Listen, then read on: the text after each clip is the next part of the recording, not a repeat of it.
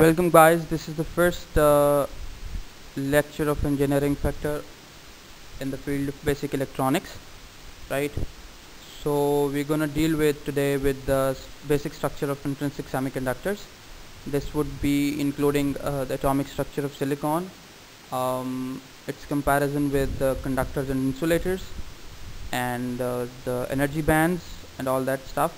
However it will not be including the doping phenomena because it will be discussed in further lectures of this um, uh, content or this subject that is uh, basic electronics. So we move forward. Here is the introduction uh, the conductors. As I said we will be comparing them. Conductors on one side we all know are the most supportive to the flow of current and insulators on the other are the least right? And semiconductors as their name suggests uh, lie in between both of these extremes. And two examples to quote here silicon and germanium. The most commonly used is the silicon and germanium and the most preferably I must say uh, nowadays in industry because of its stability silicon is being used right? These two uh, diagrams that you are watching now uh, conductor and insulator show that uh, what they have in them is their conductivity patterns right?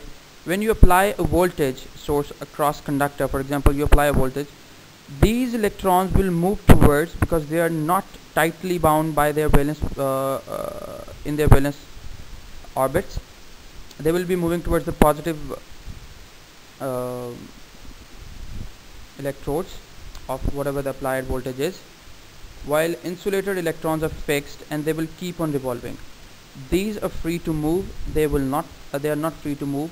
So that is why we do not have insulators as uh, mm, that is why insulators do not conduct um, electricity and conductors do conduct. Further uh, further we have two more points uh, about semiconductors.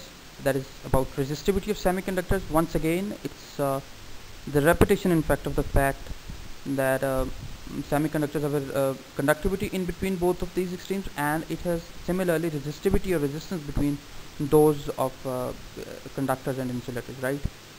So and their electrons are not free to move but a little energy will free them for conduction. Now this is a point to be concentrated upon because so here is the atomic structure of uh, silicon and we're using a silicon example.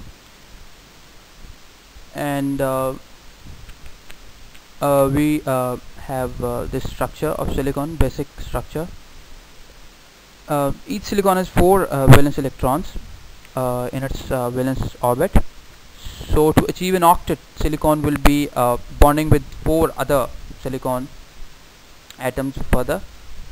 And this silicon atom double bonds with other four silicon atoms. And each silicon and this one would be bonding in next with next four and the next one would be with the next four and the next one would be the, with the next four. So this will be a periodic pattern uh, and this periodic pattern would be uh, called um, crystal. And this periodic pattern is continued throughout the material except at the ends. And uh, this repeats itself. And uh, this is known as a crystal of uh, mm, the silicon right so this is the what uh, this is what you know uh, is all about the structure. And this structure the electrons are fixed at 0 degree centigrade, uh, centi centigrade. And when it comes to room temperature normally at 27 degrees celsius there are a few electrons which can uh, leave these bonds. Now this is the point that we have uh, this is the point that we have for uh, silicon and uh, the point that we were considering uh, in the previous slide that uh, a little much of amount of, amount of energy. So this at this uh, 27 degrees celsius that little much amount of energy is made available